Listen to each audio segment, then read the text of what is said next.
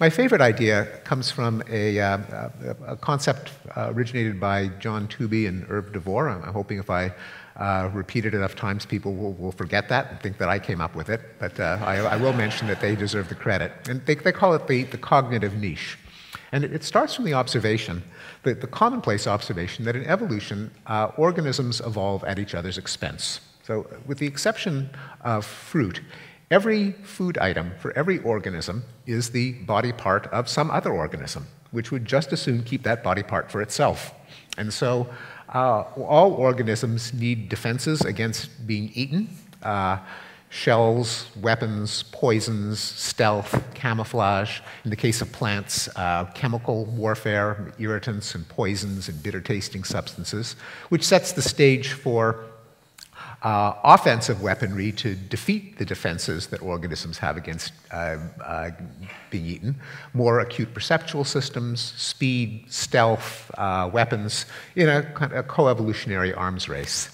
Now, uh, what's unusual about humans is that we uh, kind of cheat in this arms race by developing ways of defeating the defenses of other organisms, not over evolutionary time, generation by generation, but in real time, in our own lifetimes, by developing mental models of the environment, cause and effect uh, texture of the world around us, and manipulating it to our advantage. We develop uh, traps uh, that rely on laws of physics, on expectations of animal behavior, on uh, our intuitions about biology. We extract poisons from uh, one organism and use them against uh, another. We defeat the defenses of plants by boiling or fermenting or peeling or cooking uh, and, and therefore enjoy uh, plant nutrients.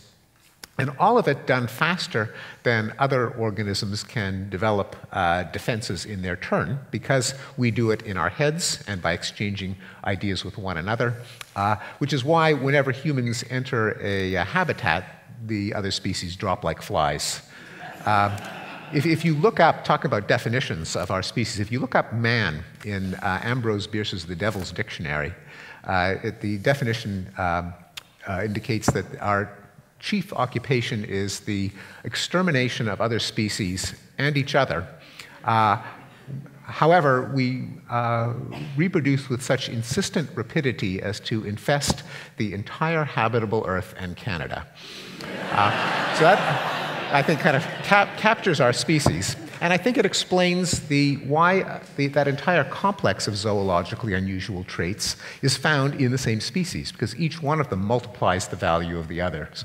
Uh, most obviously, there's technology, which depends on our uh, intuitive understanding of the environment, what breaks, what bends, what uh, falls, what rolls, uh, and that depends on our uh, intuitions of uh, physics, of forces and objects and substances, our intuitions of living things, of organisms that have essences that are responsible for their powers. I think it, it accounts for our language, that if we have accumulated technological know-how, that gives us something to talk about, something to, uh, to share. And it means that we can profit. We don't have to, as they say, reinvent the wheel, but we can profit from all of the uh, strokes of genius and trial and error and um, uh, accumulated wisdom of other members of our species, but only if we're co cooperating with them.